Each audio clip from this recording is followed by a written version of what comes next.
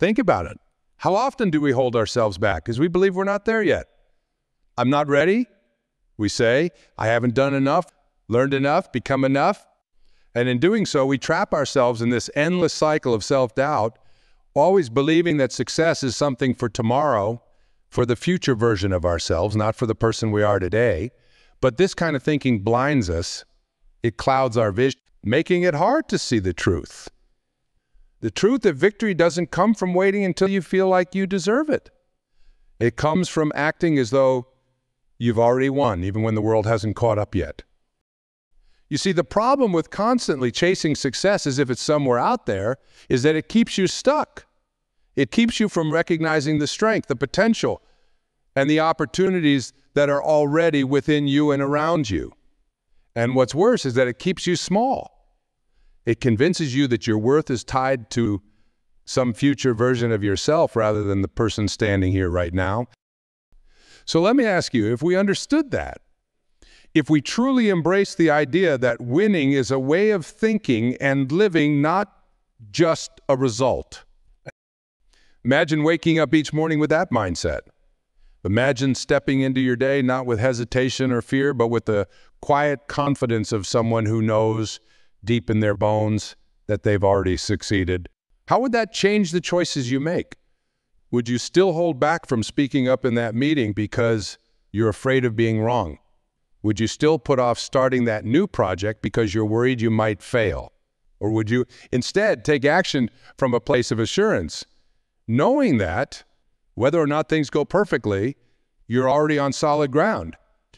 Living as though you've already won doesn't mean pretending life is perfect. It doesn't mean ignoring your struggles or denying the challenges in front of you. It means acknowledging those things but not letting them define you. It means showing up to each moment as the version of yourself who is capable of overcoming those challenges, rather than the version who is still waiting for permission to start. We often talk about self-doubt, as though it's a fact of life, something we just have to accept. But I'll ask you, so what if self-doubt is less about who we are and more about how we've been taught to think? What if it's not something you have to live with forever, but something you can choose to let go of by shifting your mindset, when we live as though we're still fighting for a win, we make choices out of fear, fear of failure, fear of judgment, fear of not being enough. But when we live as though we've already won, that fear begins to lose its grip. Think about the people who inspire you, the ones who seem to navigate life with a sense of purpose and ease. They're not waiting for success to find them. They're moving through life with the confidence of someone who already believes they belong, who already sees themselves as successful regardless of what the world says. They're not fearless, but they act in spite of their fears because they know that the real victory is in showing up fully, not in achieving some flawless outcome. So what if we stopped waiting for the world to tell us we've won and started living like it's already true? What would that look like for you?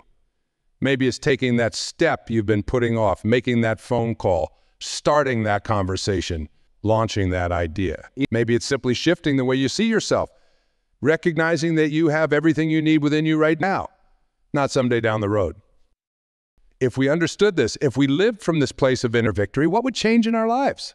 I believe the answer is everything, because when you start to see yourself as someone who has already succeeded, the way you move through the world changes. The decisions you make, the risks you're willing to take, the way you interact with others, it all begins to shift. What does it mean to win? It's such a simple question on the surface, but when we really start to pull it apart, it gets complicated, doesn't it? Who decides what winning looks like? Is it about being the wealthiest person in the room? Most famous? The one with the highest title? Or the most followers online? These are the images that the world so often shows us. The shiny pictures of success we're fed from the time we're young. You know, the ones, uh, the idea that if you're not constantly achieving more, earning more, doing more, then somehow you've fallen short. And it's easy to buy into that, to get swept up in the idea that winning is all about stacking up accomplishments like trophies on a shelf. But here's the thing. If that's all it is, why are so many people who seem to have it all still unsatisfied? If wealth, fame, and power were all it took to win in life, then why do we see people at the top of their fields still searching for meaning, still chasing something that seems just out of reach. You hear stories of the CEO who can't sleep at night or the celebrity who's surrounded by people but feels utterly alone. We see it all the time. People have everything the world says defines success, yet they're still looking for more. Why is that? It's because those things, while they might make life more comfortable or give us a sense of accomplishment, aren't the real markers of victory. Winning is not about what you have in your bank account, the size of your house, or the accolades you've. It's about something much deeper. Let me share a different perspective with you. Victory is a state of being. It's not something you can buy, earn, or get handed to you. It's not a moment in time where you cross the finish line and suddenly everything falls into place forever. No, real victory is a way of living. It's a condition of your heart and your mind, something that you carry with you every single day, whether the world sees it or not. Think about that for a moment. If winning isn't tied to what you achieve, but to how you live, how does that change the way you think about success? Suddenly, it's not about waiting for that big moment where everything clicks. It's about how you choose to show up in your life, right here, right now. Let me give you an example. Have you ever met someone who doesn't have much in the way of material success but still seems completely at peace with their life? Someone who, despite challenges or setbacks, carries themselves with quiet confidence, resilience, and content. Maybe they're not famous. Maybe they're not rich. But when you look at them, you can tell they found something deeper. That's victory. That's what winning looks like when it's not defined by the world's standards, but by something more lasting. I remember a man I once met, a small business owner. From the outside, his life might have seemed unremarkable. He wasn't someone the world would call rich or powerful, but let me tell you, he was one of the most content people I've ever known. He didn't measure his success by how much money he made or by the size of his business. He measured it by the relationships he built, by the trust he earned from his community, and by the peace he felt knowing he was doing something he loved, something that aligned with his values, he was happy. And here's the thing. No amount of external success could have given him that. It came from within. He wasn't chasing victory. He was living it every single day. On the other hand, I've known people with plenty of outward success who always seem restless, never quite satisfied, even as they reached higher and higher. They were constantly striving, but no achievement ever felt like enough. It was as if they were stuck on a treadmill, always running, but never arriving this is what I want us to reflect on today. Winning, real winning, is not about the applause or the accolades. It's not about hitting some magical milestone. It's about how you carry yourself through life. It's about how you handle the ups and the downs. It's about whether you can find peace. Not when everything is perfect, but in the middle of life's messiness.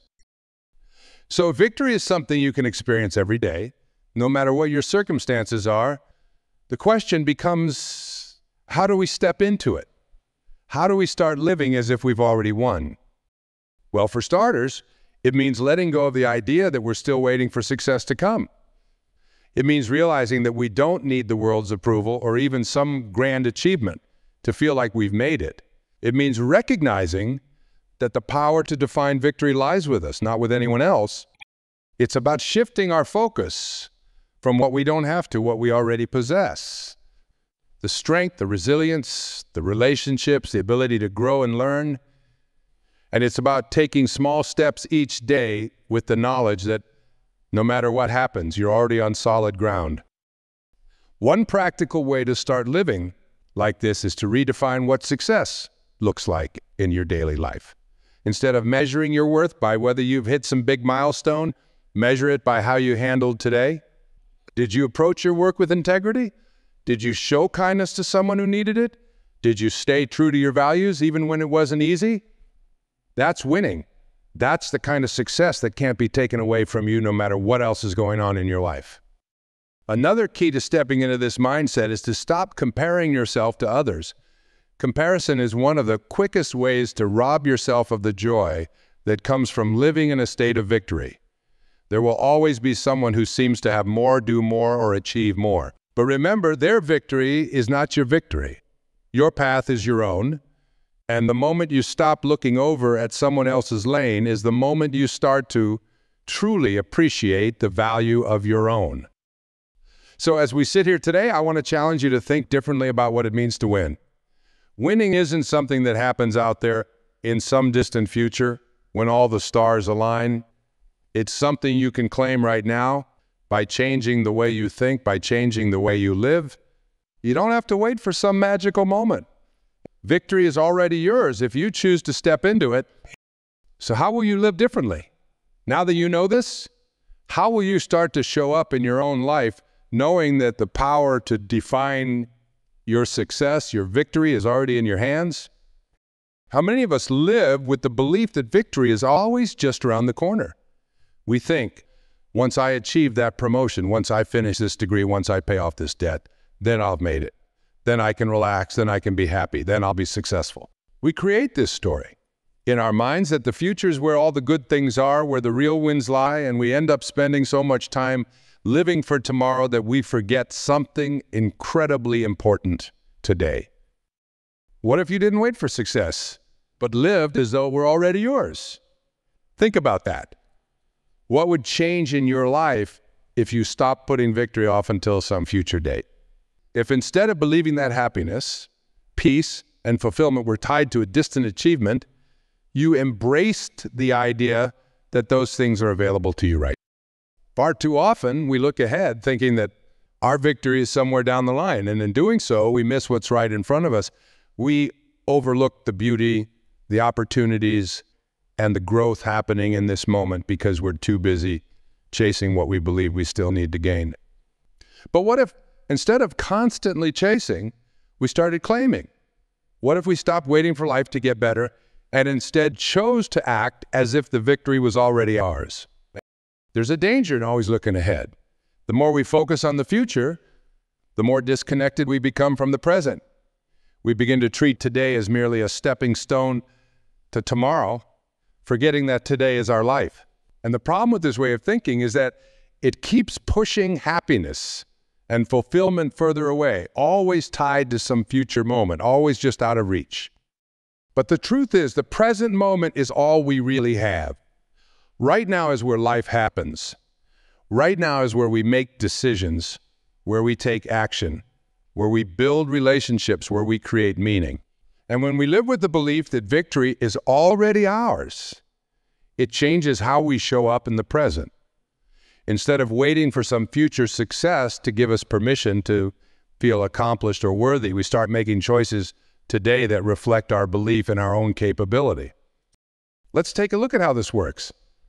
When you live as if you've already won, your actions change. You stop making decisions from a place of lack, fear, or insecurity, and you start making them from a place of confidence and abundance. You're not constantly second guessing yourself or holding back because you think you're not ready. You act with the assurance that you already have what it takes, that the victory you seek is not something you need to chase. It's something you carry within you. Imagine walking into a meeting or starting a project with the mindset that you've already won. How would that shift the way you approach your work? Instead of worrying about whether you're good enough or whether people will approve of you, you move forward with clarity and purpose. Instead of doubting every step, you trust your instincts and take bold actions because you believe in the strength you already possess.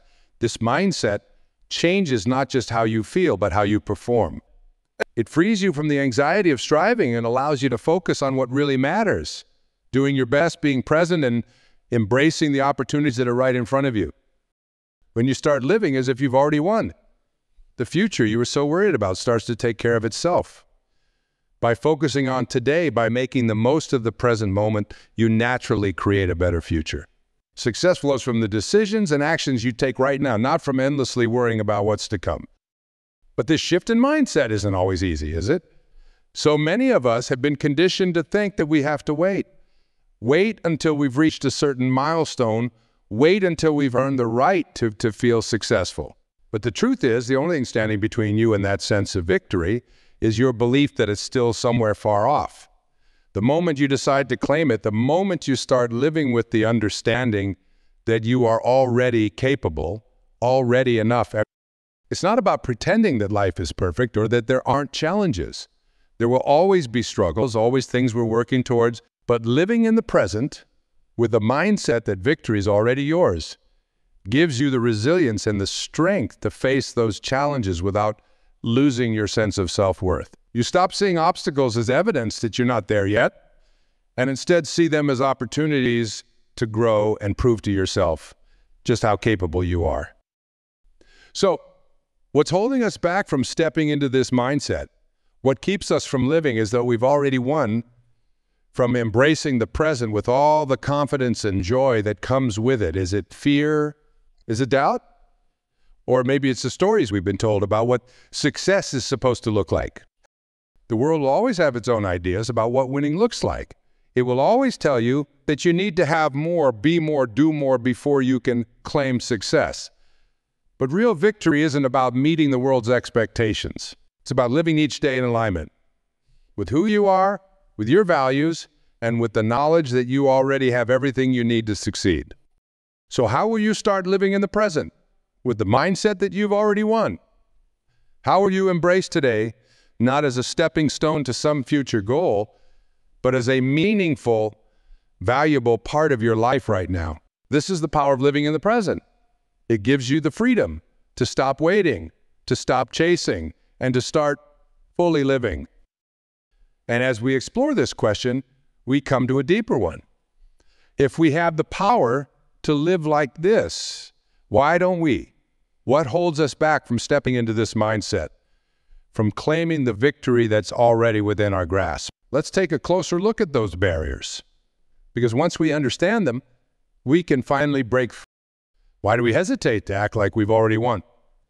What is it that holds us back from stepping fully into that mindset?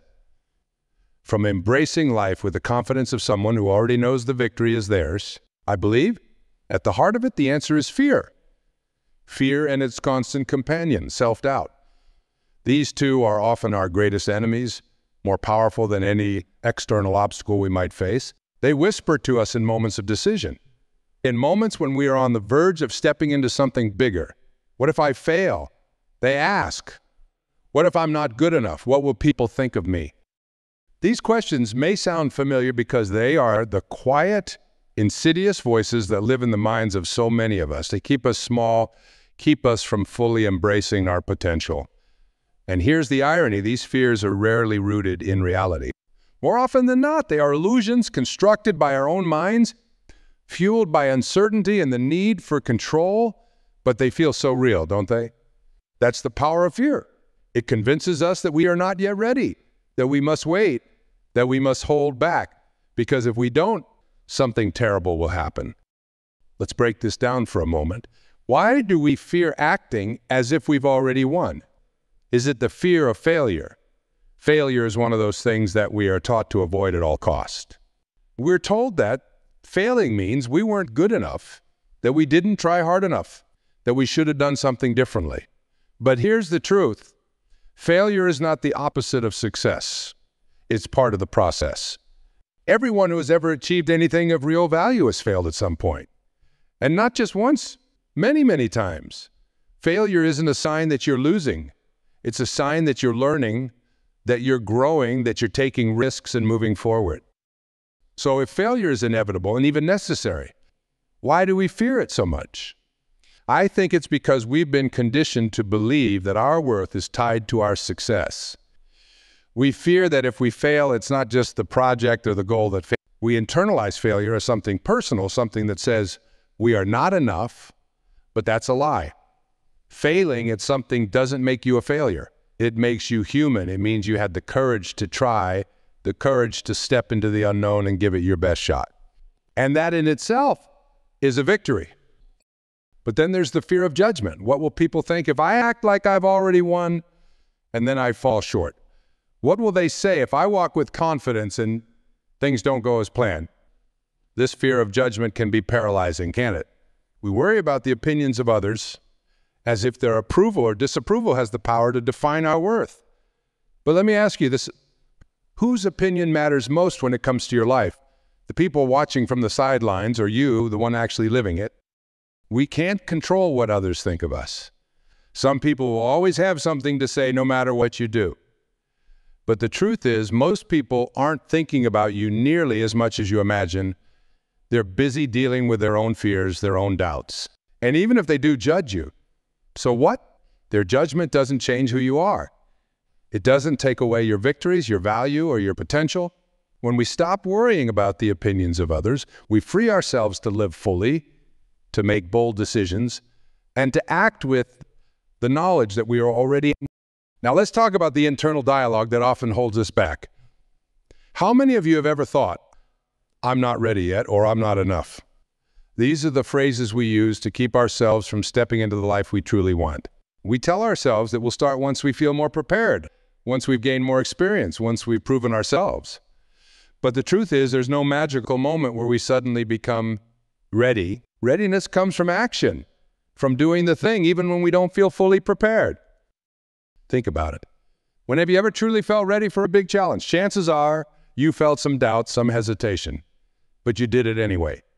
And in doing it, you found your strength. You realized that you were more ready than you thought. Not because you had all the answers, but because you were willing to take the first step, willing to learn and grow along the way. And that's the key. Acting as if you've already won doesn't mean pretending that you have it all figured out. It means trusting that you have what it takes to figure it out, to learn, to adapt, to succeed, even in the face of uncertainty. It means recognizing that not enough is just a story we tell ourselves, not a fact. You are already enough right now with all your imperfections, with all your doubts, with all your fears. Let me share a story.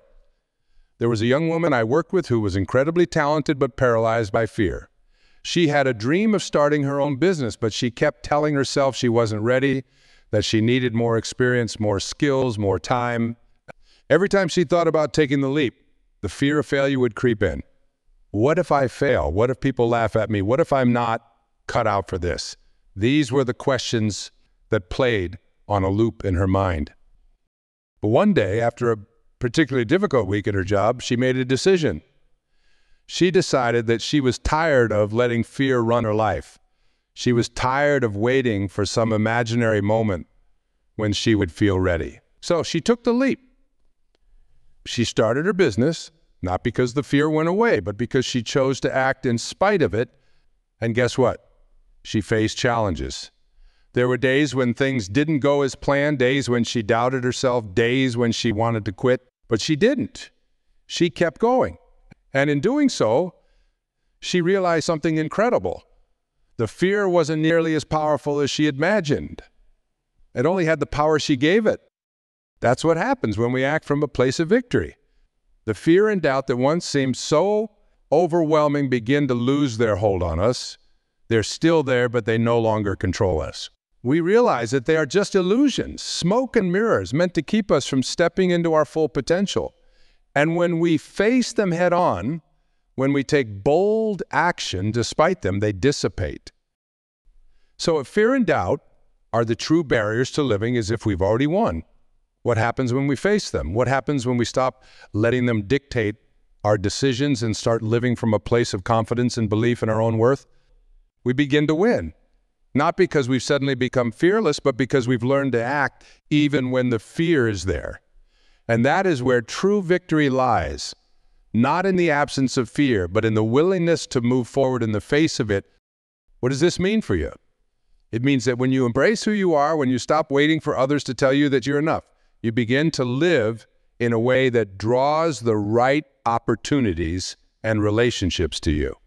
You stop running after things that don't serve you and start attracting what's meant for you. This is the power of living authentically. It's not about trying to be someone you're not in order to gain approval or success. It's about trusting that who you are is enough, that your uniqueness is your greatest strength, and that living in alignment with your true self is the path to real victory. And when you live this way, you not only transform your own life, but you also inspire. So often, we fear failures if it's the end. We see it as this definitive moment that somehow proves our inadequacy. But let me offer a different perspective. What if failure isn't a verdict, but a teacher? What if the moments when things don't go as planned are actually the moments that equip us to become stronger, more capable, more in tune with what we truly want? When you act like you've already won, Failure doesn't have the same power over you. It no longer feels like a crushing defeat. Instead, it's a stepping stone, a part of the journey that we all must walk. It's the feedback that tells you what needs to change, what needs to be refined, but it doesn't. Think about it. How often have you learned your most important lessons not from success, but from failure? Isn't it in those moments when things didn't work out that you were forced to grow, to adapt, and to rethink your approach? I'm sure you can think of a time when something went wrong, and at the moment, it felt like the end of the world. But looking back, you realize that setback was a catalyst. It pushed you in a new direction, helped you see things differently, or simply taught you resilience. Take a moment to think about a time when you failed. What did you learn? How did it shape you? Did it really mean you were off track, or was it guiding you towards something better? More often than not, we realized that the moments that felt like failure were really opportunities in disguise. They gave us clarity. They built our resilience, and they strengthened our resolve. That's what happens when you view failure from a winning mindset. It transforms from something to fear into something to embrace. I remember reading about Thomas Edison, the man behind so many of the modern conveniences we now take for granted. When asked about the thousands of experiments he conducted before finally inventing the electric light bulb, he famously said, I have not failed. I've just found 10,000 ways it won't work. Think about that. Thousands of attempts, countless moments where he could have given up, thrown in the towel, and declared himself a failure. But he didn't see those missteps as failure. He saw them as part of the process, as necessary steps on the path to. And isn't that the mindset we're talking about here? When you live like you've already won, you understand that failure is not final. It's not a dead end. It's a redirection. It's a lesson that sharpens you, teaches you, and prepares you for the next step. It's not a reflection of your worth or your ability. It's simply part of the process. Consider athletes, for example. They train for years, and every missed shot, every loss, every injury is a part of the process. They don't stop playing because they missed a goal. They understand that setbacks are part of growth, and each failure teaches them how to improve. The same applies to us, to our lives. We need to stop seeing failure as a sign that we're not good enough and start seeing it as part of the path to success. Now, I know this can sound easier said than done when we're in the middle of a setback. It's hard to keep perspective. It's hard not to feel like the world is crashing down. But I want you to remember this. Failure is temporary. It's not permanent. It's only final if you stop, if you give up. But when you act like you've already won, you realize that every failure is just a detour, not a dead end. Let me share with you the story of J.K. Rowling, the author of the Harry Potter series. Before she became one of the world's best-selling authors, she faced rejection after rejection. Her manuscript was turned down by 12 publishers before one finally said, Can you imagine what might have happened if she'd let those rejections define her? If she had seen them as proof that she wasn't good enough, that her work didn't matter. But she didn't. She kept going. She believed in her work, in herself, even when the world didn't seem to agree. And because of that, she eventually succeeded that's what it means to act like you've already won. It's about pushing forward, even when it seems like the odds are against you.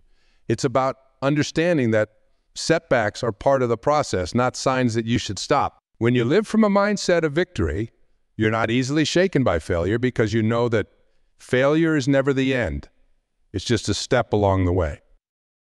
Now, let's talk about how we can adopt this mindset in our own lives. How do we move from fearing, fearing failure to embracing it? It starts with a shift in perspective. The next time you face a setback, instead of asking, why is this happening to me? Ask, what is this trying to teach me? Instead of seeing failure as a reflection of your worth, see it as feedback, feedback that helps you adjust, pivot, and grow. Every successful person, every leader, every individual who has accomplished something worthwhile has faced failure. But what sets them apart is that they didn't let failure stop them. They didn't allow it to define their path. They kept moving, kept believing that victory was still theirs to claim, and that's what you have to do. When you act like you've already won, failure becomes just another part of the story, not the end of the story. Imagine how much more resilient we could be if we saw failure as a lesson, not a defeat. How much more willing would we be to take risks? to step outside of our comfort zones if we knew that failure wasn't something to fear? What would our lives look like if we didn't let setbacks keep us from pursuing what we really want? This is the power of living, like you've already won. It's not about avoiding failure. It's about embracing it as part of the journey. It's about recognizing that every misstep, every rejection, every obstacle is shaping you, teaching you, and preparing you for the next step. So the next time you face a setback, remember this. You haven't lost. You're still on the path to victory. You're still moving forward, still growing, still learning. And that is what truly defines success. Now imagine what happens when we embrace this mindset, not just in some parts of our lives, but in every aspect. Imagine the confidence we would carry, the resilience we would build, and the impact we could have on the world around us. So we've arrived at the same place where we began. Let's circle back to that first question. What would your life look like if you lived as if you'd already won? Take a moment to reflect on that. Picture yourself, not waiting for some distant success, not putting off the best version of your life until later, but living it right now, as if you've already achieved everything you desire. How different would your day-to-day -day look? What choices would you make? How would you approach your relationships, your work, your passions? Here's what we talked about. Victory is not a moment, not a finish line you cross someday. It's a mindset.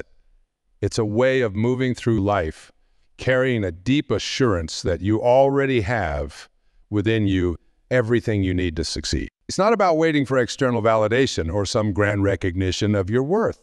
It's about living with the quiet confidence that you are enough right now exactly as you are. Think about the confidence that comes from action. We don't sit around waiting for the perfect moment because we know it will never come. Confidence is built when we move forward, even when we're uncertain. It's those small steps taken in faith. Those moments when we trust ourselves enough to act, that compound over time and grow into unshakable confidence. And what about the setbacks? We've all faced them. We all know what it's like to stumble, to feel like we've fallen short. But here's the thing. Setbacks are not the end of the road. They're not signs that you've lost or that you're off track. They are part of the process, part of the learning. Failure, when viewed through the lens of victory, becomes a teacher, not a verdict. It becomes something that refines you, strengthens you, and prepares you for what's next. But perhaps one of the most transformative aspects of living like you've already won is the freedom it gives you to live authentically. No longer are you chasing someone else's version of success. No longer are you waiting for others to affirm your worth. You can stand tall in who you are, knowing that your value doesn't come from external validation, but from within. And when you live authentically, you give others permission to do the same. You become a source of inspiration, a beacon of what's possible. I want you to really think about this. What would change in your life starting today if you acted like the person who has already achieved everything they desire how would you approach each moment? Would you hold yourself back, waiting for more experience or more approval? Or would you step forward boldly, trusting in your own ability? What would shift in the way you talk to yourself, in the way you make decisions, in the way you interact with others? I'm not asking you to imagine a life free of challenges because that's not realistic. But I'm asking you to consider how you would face those challenges with a mindset of victory, with the quiet assurance that you are capable, that you are worthy, that you've already won the battle within. You know, this mindset is not something reserved for the future. It's not something that's dependent on reaching a specific goal or achieving some external marker of success. It's something you can embody right now. It's a choice you can make today, in this very moment. You don't need permission from anyone else. You don't need to wait for some perfect circumstance. You can decide right here and right now to live as if you've already won. And as we close, I want to leave you with one final thought. One more question to take with you as you leave here today. What if the real victory is not in the outcome, but in living each day with the courage, confidence, and conviction of someone who already knows? What if the real success isn't tied to the end result at all, but in how you show up, how you carry yourself, how you live your life each and every day, when you live like you've already won, you're no longer striving for some distant prize. You're no longer waiting for the world to tell you you're enough. Instead, you're embracing the fullness of who you are, acting with confidence and boldness, trusting in your own worth. And that's the ultimate reward. It's not a medal, not a trophy, not a title. It's the peace that comes from knowing that you've lived your life fully, courageously, and authentically.